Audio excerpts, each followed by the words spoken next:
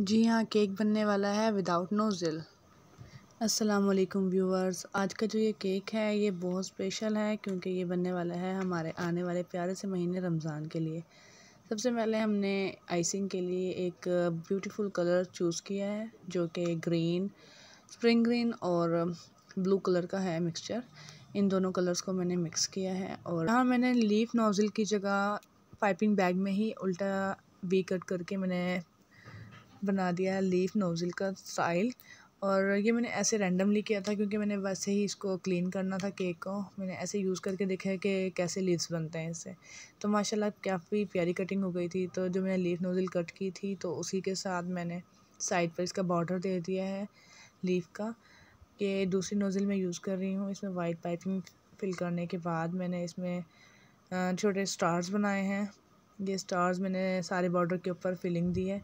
ये रोज़ेट बनाने के लिए नोज़ल है, ये नोज़ल्स मुझे हमेशा कंफ्यूज कर देते हैं। तो कभी भी मुझे याद नहीं रहती कि कौन से वाली परफेक्ट नोज़ल है जो, जिससे परफेक्ट रोज़ेस बनते हैं। तो मैं हर बार इनको यूज़ करती हूँ, फिर मैंने अब ज़रा वीडियो में भी ऐड कर लिया ताकि मुझे वीडियो देख कर ही याद आ जाए। तो फिर ये मैंने डिफरेंट कलर के फ्लावर्स के साथ मैंने नोज़ल्स यूज़ किए हैं और स्टार और रोज़ेट्स बनाए ये ब्लू रोज़ेट बहुत ही माशाल्लाह ब्यूटीफुल बना है।